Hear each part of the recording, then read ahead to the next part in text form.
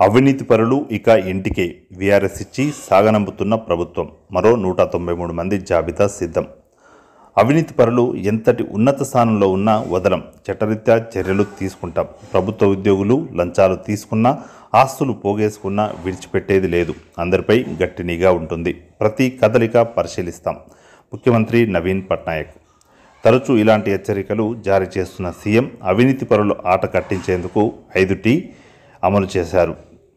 IAS అధికారి వి కార్తికేయ పాండ్యన్కు ఈ శాఖ ప్రత్యేక కార్యదర్శిగా నియమించారు. నిఘా ఇంటెలిజెన్స్ విజిలెన్స్ శాఖల అధికారులను అప్రమత్తం చేశారు. డేగా కళ్ళతో పరిస్థితిని సమీక్షించాలని ఇదివరకే ఆదేశాలు జారీ చేసిన నవీన్ రెండు వేల ఇరవై నవంబర్ నుంచి ఈ ఏడాది రెండు వేల ఇరవై ఒకటి నవంబర్ నాటికి నూట నలభై మంది అవినీతి అధికారులపై చర్యలు తీసుకున్నారు. వీరిలో ఓఏఎస్ అధికారులు ఇంజనీర్లు ఉన్నారు. విజిలెన్స్కు చిక్కి సస్పెండ్ అయిన వారికి వీఆర్ఎస్ ఇచ్చి వారికి ఇంటికి సాగనంపారు. అవినీతి కేసులు నమోదు చేశారు.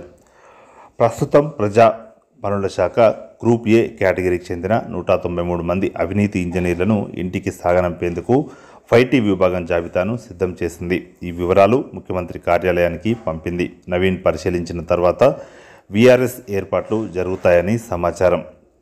విజిలెన్స్ అధికారులకు పూర్తి స్వేచ్ఛనిచ్చిన హోంశాఖ పంచాయతీరాజ్ పట్టణాభివృద్ధి జలవనరులు గ్రామీణాభివృద్ధి శాఖల్లో విధులు నిర్వహిస్తున్న అధికారులు ఇంజనీర్ల పనితీరు వారి ఆదాయం ఆస్తుల వివరాలు సేకరించాలని విజిలెన్స్కు ఆదేశించింది. సంబంధిత శాఖలకు చెందిన కొంతమంది ఉద్యో ఉన్నతోద్యోగులు లంచాలు తీసుకుంటున్నట్లు హోంశాఖకు ఫిర్యాదులు అందాయి దీంతో హోంశాఖ బాధ్యతలు పర్యవేక్షిస్తున్న నవీన్ తక్షణ చర్యలు తీసుకోవాలని ఆదేశించడంతో మరికొద్ది రోజుల్లో మరికొన్ని అవినీతి చేపలు విజిలెన్స్ వలలో పడనున్నాయని హోంశాఖ ఉన్నతాధికారి ఒకరు తెలిపారు.